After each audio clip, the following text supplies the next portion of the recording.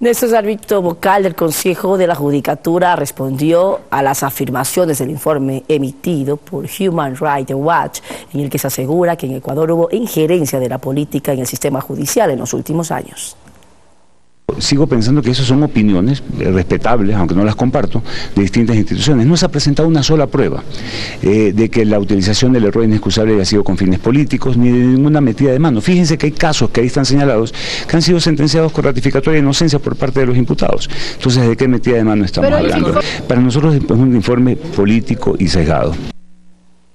Y en la Casa de Justicia de Carcelén, ubicada al norte de Quito, se desarrolla la audiencia preparatoria de juicio en el caso David Romo. Olga Velasco nos tiene un informe. Adelante, buenas tardes.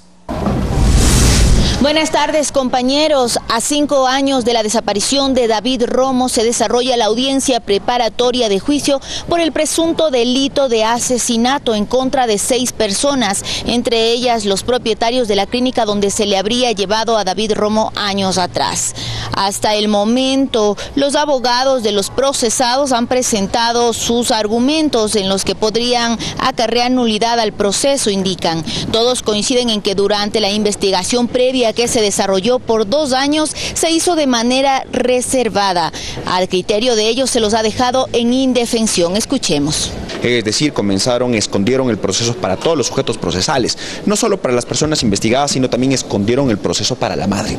¿ya? Es decir, y en, ese, en esa reserva, cuando estaba solo la policía y la fiscalía sola, investigando solos, es que fraguan este asesinato y construyen un asesinato porque es lo que ha sostenido siempre esta defensa, que construyeron una hipótesis de asesinato que jamás sucedió.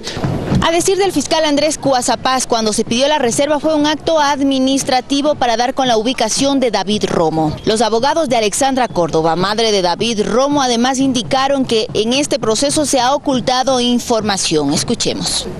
Aquí hay responsabilidades penales del Estado ecuatoriano en nombre de todas las autoridades, incluido el presidente del Consejo de la Judicatura, el fiscal Galo Chiriboga y el actual fiscal Carlos Vaca Mancheno.